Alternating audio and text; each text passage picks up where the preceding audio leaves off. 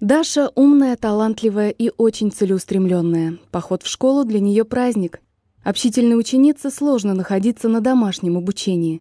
И все же она старательно занимается и верит, что в скором времени сможет бывать в школе каждый день, а не только пару раз в четверть. Уже несколько лет состояние Даши поддерживает специальный прибор – кардиовертер-дефибриллятор. В случае внезапной остановки сердца он дает разряд и автоматически его запускает. Я очень хочу выздороветь и жить нормальной, полноценной жизнью, как живут мои сверстники, друзья. Мне я очень устала от того, что нужно постоянно думать о таблетках, пить их, постоянно ездить в больницы. Я устала жить в постоянном страхе, что что-то может случиться плохое. Борясь за жизнь дочери, Людмила Сутабалова объездила полстраны. Девочке было проведено множество операций в крупных городах. С появлением дефибриллятора состояние Даши на некоторое время стабилизировалось. Но, к сожалению, Техника, пусть даже медицинская вещь, непредсказуемая.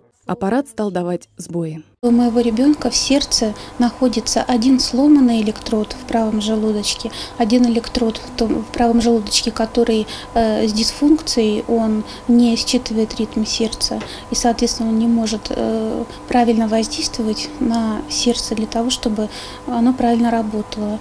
Врачи уверяют, здоровье девочки в руках немецких кардиохирургов.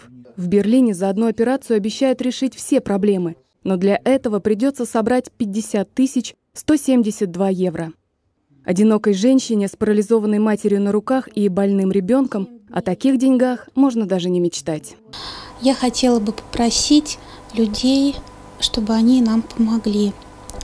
Потому что просить это тяжело, не просить невозможно.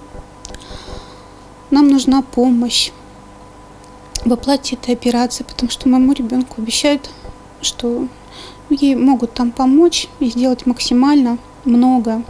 Мы обратились к Ирине Котовщиковой, депутату «Единой России». Она первая откликнулась на просьбу о спасении Дашеньки. Под ее руководством успешно работает благотворительный фонд помощи детям-инвалидам «Пути преодоления».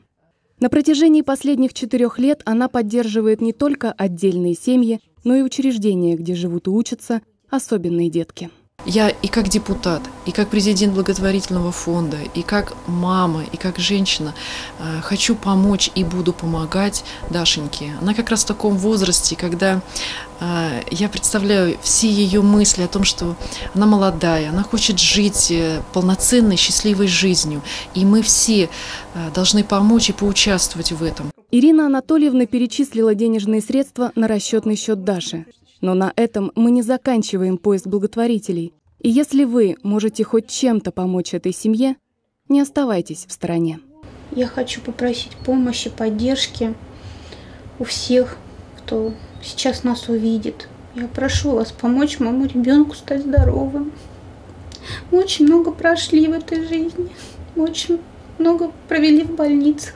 И это очень тяжело видеть, когда твой ребенок умирает у тебя на глазах. Оксана Зинкова, Маргарита Покровская, Константин Алехин. Новости моего города.